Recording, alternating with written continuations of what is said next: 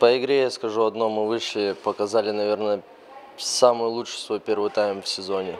Мы все, что тренировали, мы сделали в первом тайме. А второй тайм мы уже вышли, да, еще чуть-чуть сказывался, 3-0, мы чуть расслабились, пропустили первые, э, в первые минуты, да, там, по-моему, на 50-й минуте пропустили, но потом собрались и в конце еще сумели забить четвертый. Но мы на тренировке отрабатывали, что при развороте они все время через опорника играют и отдают на второго центрального защитника. Вот я поймал его, выскочил, подобедал, так сказать, и ударил в дальний угол и забил. Но я думаю, сейчас все по счету видно, какой у нас настрой был.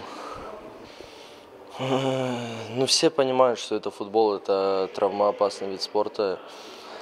Мы уже связались с Чуриковым, вот сейчас сказали, все хорошо, едет, ну как все хорошо, в сознании, жить будет, это самое главное.